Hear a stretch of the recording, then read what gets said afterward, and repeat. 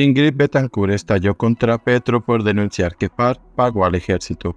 Usted financió su campaña con recursos de narcos. El presidente Gustavo Petro realizó una grave denuncia que ha generado gran polémica en todo el país y está relacionada con la crisis de orden público que se vive en el departamento del Cauca. El jefe de Estado acusó a oficiales del ejército de recibir dinero de las disidencias de las FARC de alias Iván Mordisco para permitir su ingreso al cañón del Micay. Petro fue más allá en el discurso que dio durante la clausura del primer Congreso de Seguridad Humana, Desarrollo Humano e Inteligencia. En el evento afirmó, sin relevar las pruebas, que la macabra alianza entre disidencias y ejércitos se dio en el gobierno anterior. Esta fase no es así. Esta fase es muchísimo más peligrosa para la estabilidad del país, porque en esta fase el capitán del ejército se alía con el que creían que era el comunista jefe de la segunda marquetalia de la zona, y el capitán de la policía se alía ya con él de la EMC y el de aquí con este y con la autodefensa del cuerpo para acabar con el ELN, dijo el máximo mandatario. En su declaración, Petro agregó, ¿dónde está la inteligencia ahí?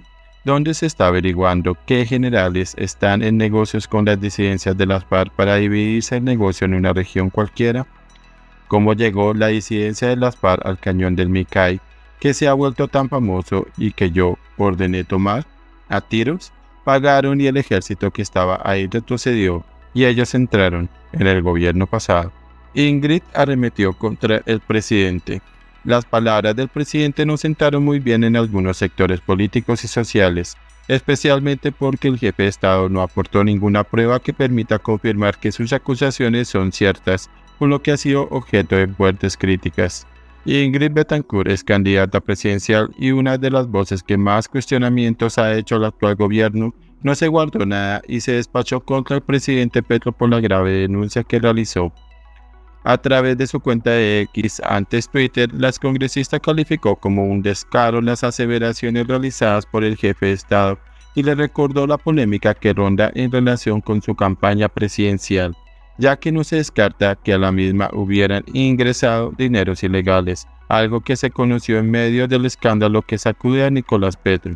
Que es caro Petro acusar al general Lato de las Fuerzas Armadas de recibir plata del narcotráfico para no operar en el Cauca, estando probado que usted financió su campaña con recursos de narcos, escribió Tancur.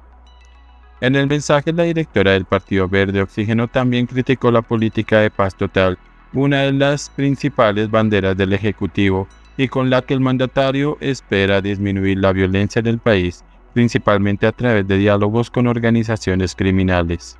Con la paz total, acuarteló a las Fuerzas Armadas para que las guerrillas cocaleras se adueñaran del territorio, aseveró. Pese al terremoto político que se ha generado por las declaraciones realizadas, hasta el momento el mandatario ha mantenido su posición pero no ha revelado ninguna prueba con la que se pueda corroborar sus afirmaciones, algo que le están exigiendo varios sectores.